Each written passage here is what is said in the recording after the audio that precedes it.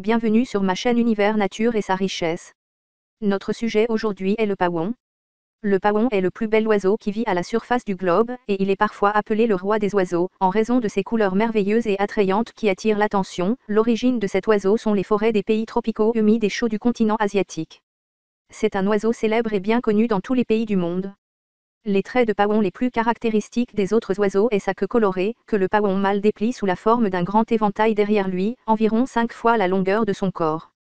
Il est connu par sa qualité de beauté et de fierté, de vanité et d'arrogance, et se caractérise par sa démarche qui reflète la fierté et la brillance. C'est un oiseau qui refuse généralement de se mélanger avec d'autres oiseaux domestiques.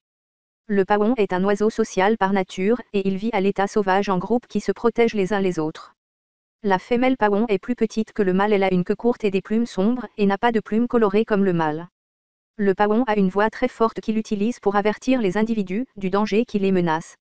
Le pawon ne peut voler que sur de très courtes distances et utilise souvent ses ailes pour sauter par-dessus de grands arbres. Le pawon atteint généralement la puberté à l'âge de 3 ans et s'accouple généralement au printemps et affiche alors ses plumes colorées et émet des sons pour attirer les femelles.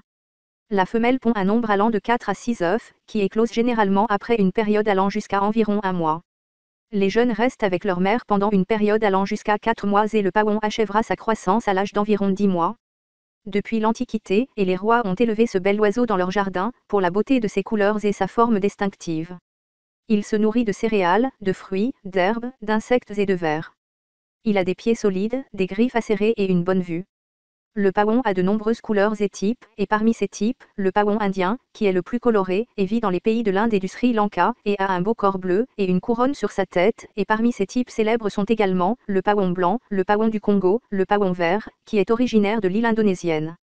Merci de m'avoir suivi, n'oubliez pas de cliquer sur j'aime et de vous abonner pour avoir plus d'informations et aussi visiter mon site mangerscène.com.